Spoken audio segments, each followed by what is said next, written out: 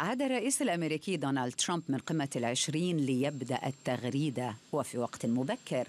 ركز على اجتماعه الذي كان الأول مع نظيره الروسي فلاديمير بوتين فدعا إلى المضي قدما للعمل بشكل بناء مع روسيا. غرد بأنه مرتين مارس ضغوطا شديدة على بوتين بشأن التدخل الروسي في انتخابات 2016 لكن بوتين حسب تغريدات ترامب نفى ذلك بشدة.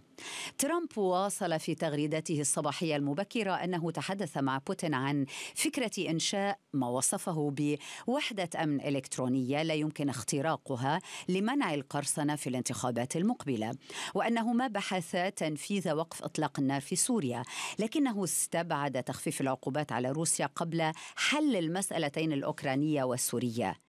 تغريدات نقلت حيزا من اجتماع الرئيسين الذي جرى يوم الجمعة على هامش قمة مجموعة العشرين في مدينة هامبورغ الألمانية ونال الكثير من التوقعات التي سبقته والتحليلات التي لحقته مرورا بتفسيرات للغة جسد الرئيسين. تغريدات ترامب عادة ما تجذب الملايين انتقادا أو إعجابا لكنها في الحالتين باتت تشكل مصدرا أساسيا في الإعلام الرئاسي.